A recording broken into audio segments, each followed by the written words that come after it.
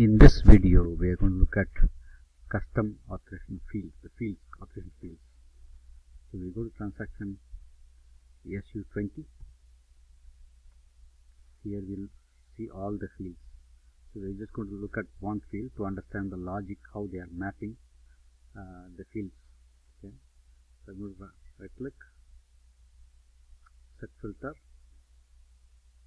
I'm going to say, go look at TCD. So now I have a particular field called TCD which is in S, S underscore T code. Okay, it's under S underscore T code. So highlight that, display.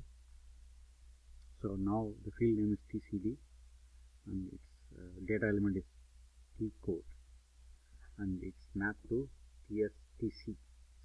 So whatever uh, transaction, so this table contains transactions. So whatever transactions is added here will be will be the lookup value for this field TCD. Okay. And if you look at down here, it basically tells you this TCD field is in all these objects, operation objects. Okay. Let's let's say let's copy this one. Okay. Now let's figure out uh, where this data element field is coming from. Okay.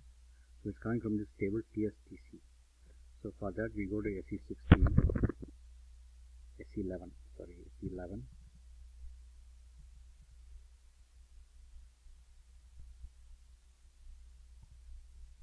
we go TSTC display.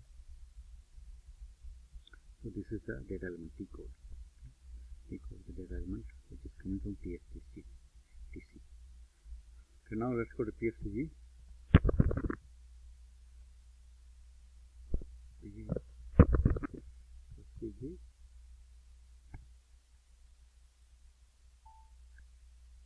the test 101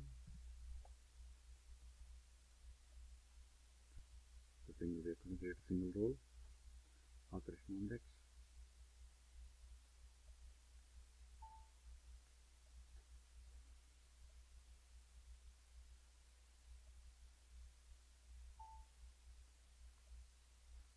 Manually